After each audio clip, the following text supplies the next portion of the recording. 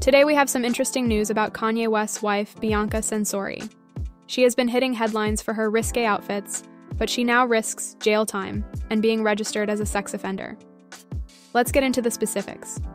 Bianca Censori, the wife of Kanye West, may have to register as a sex offender, pay a fine, and serve jail time for her most recent X rated act in Los Angeles on Monday. The 29 year old Australian architect stunned people by fully baring her breasts in a transparent netting top while making her way to the Melrose Tanning Company salon.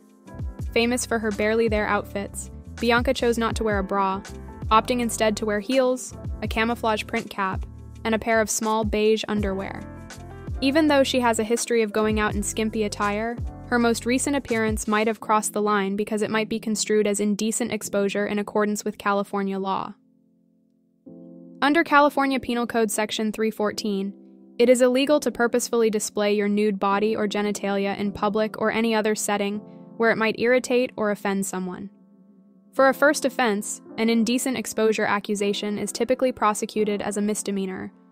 However, Bianca might spend up to $1,000 in fines, six months in county jail, and 10 years or more of required registration as a sex offender if she receives the maximum punishment for her nearly naked attire. Additionally, after Bianca came out in another skimpy outfit on Saturday, restaurateurs have pledged to forbid both her and 47 years old Kanye from accessing their restaurants.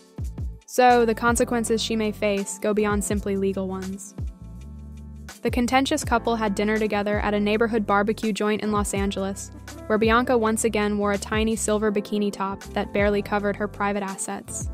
After seeing the display, restaurant owners were horrified and decided to keep the rapper and his wife out of their establishments for the safety of customers, especially kids. Tell us in the comments if you think Bianca Censori will stop her risque dressing with the risk of being a registered sex offender. Don't forget to smash the like button and subscribe to the channel for more updates on what's happening with your favorite stars.